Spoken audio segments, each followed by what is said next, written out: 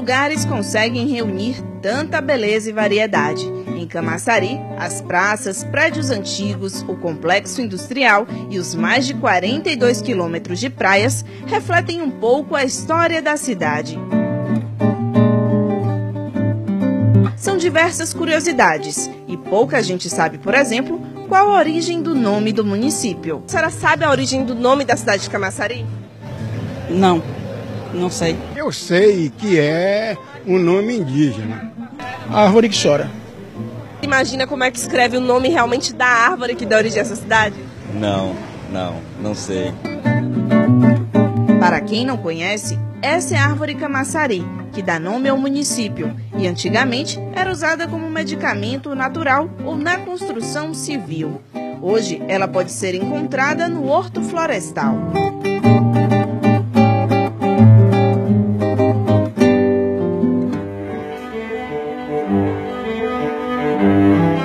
A cidade tem um estádio de futebol, o Armando Oliveira. Mas quem foi esse homem que teve seu nome como título do patrimônio?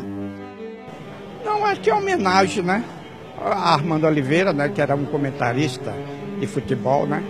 Deve ser homenagem a ele, né? E a localidade de Parafuso? De onde será que surgiu esse nome? Porque ali era um depósito de parafuso da leste. Aí ficou o nome parafuso por causa disso. Tinha muito parafuso. O radialista Márcio Eduardo tem muita história para contar. Ele explica, por exemplo, a importância da linha férrea para a construção da história de Camaçari, que antigamente era a fazenda da família Montenegro. O município se instalou ali é, bem próximo à, estação de trem.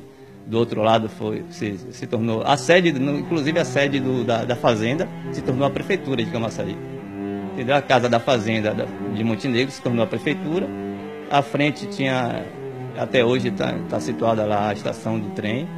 E do outro lado de cá, onde hoje é a igreja, era a capela da família Montenegro, uma capela que, da, da esposa, era Tomásia é, Montenegro. Tinha uma capelinha ali que, no passar do tempo, se tornou a igreja. E é um marco histórico na, nessa, de uma transição.